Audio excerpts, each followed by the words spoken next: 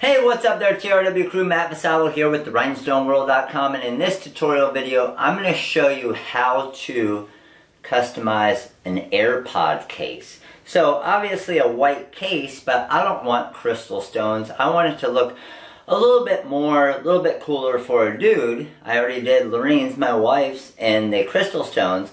So, I'm going to use the jet black stones, okay? But I don't want to have this white background. I'm going to use our Supertite multi-grab 360, but then what I'm going to do ahead of time is I'm just going to kind of black this out and use a Sharpie to black it out. That way it has the same color background, so you won't see all the white showing through when I use the jet black TRW diamond cut flat back rhinestone. So the glue, the stones, color it up real quick, we're going to decorate it and it's going to look pretty freaking awesome. Stick around to see how. Okay, so this is everything we're going to need in this project here. We got our AirPod case and you can see this. We're just going to color it up. We got our multi-grab Supertite multi-grab 360 available on the website, therhinestoneworld.com. We got our little application syringe that we're going to put the glue into. We got a little pickup tool, different sizes of our jet black stones, and then our Sharpie to color this up. So let's go ahead and first get to coloring it, and then we'll start applying the stones.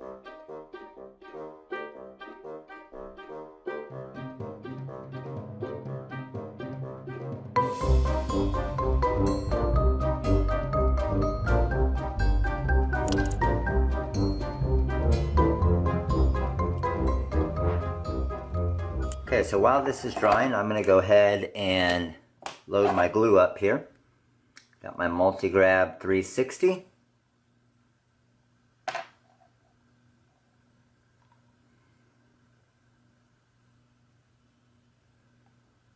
Get a good amount into my syringe here. That should be pretty good.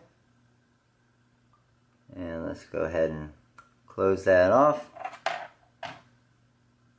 Cover this back up. I've been using this tube now for probably, oh, I would say close to three or four weeks.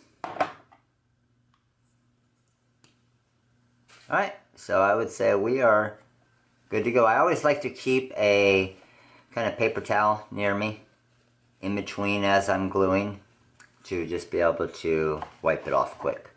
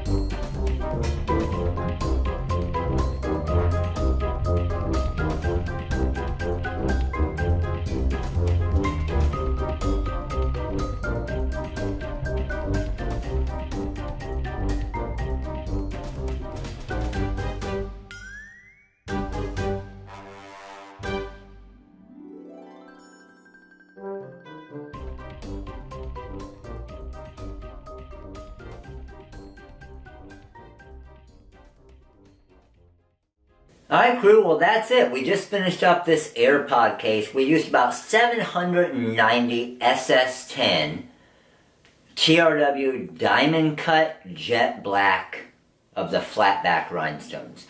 So we started out using the multi-grab glue and then I actually switched over to the fabric tack or fusion tack glue just because I wanted to see how they held up. So the top half is all the multi-grab 360. The bottom half is the fabric tack or the fusion tack. Now over time I want to see how they hold up as far as if they hold up the same, if any of them have any issues and I'll keep you guys updated. But Pretty awesome right here. You can see the close-up picture of the AirPod case.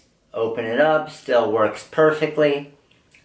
And right around 790 SS10 TRW diamond cut flatback jet black rhinestones.